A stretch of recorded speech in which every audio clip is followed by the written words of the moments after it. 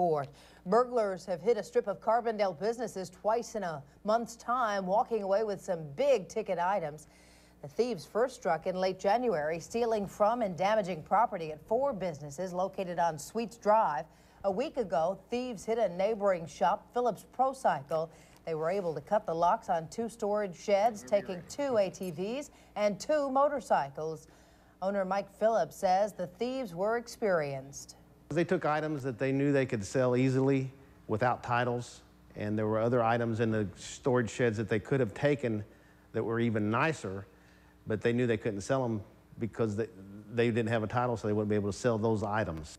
Now, if you have any information about the burglaries, you're asked to call the Carbondale Police at 457 3200 or Crime Stoppers at 549 COPS. The shops on Sweets Drive have been targeted. Thieves first struck in late January, stealing from and damaging property at four Carbondale businesses. A week ago, thieves hit a neighboring shop, Phillips Pro Cycle. News 3's Lauren Berkerich has tonight's top story. Carbondale police are handling the case, and Chief Odom says there's no proof the burglaries on Sweets Drive are linked, but he says it's likely. We don't necessarily have any evidence that they were related. But the burglaries here on Sweets Drive are similar in nature. They're similar type businesses, similar type items stolen. Um, so we're, we're sort of working them and investigating them as being related. First, the early morning hours of January 18th. Thieves hit Southern Illinois piping contractors, picking up some license plates. Then they hit Interstate Auto to pick up a truck and trailer to haul away the four wheelers they stole from Southern Illinois Motorsports. Along the way, J&S Corvette was vandalized. Three weeks later, Phillips Pro Cycle was the target. They took two of my new four wheelers.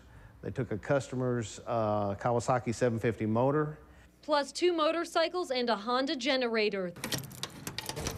Thieves broke the locks on two storage sheds to get at the bikes. They're very sought after and they're very easily sold on eBay. They can part them out on eBay, which a lot of people do.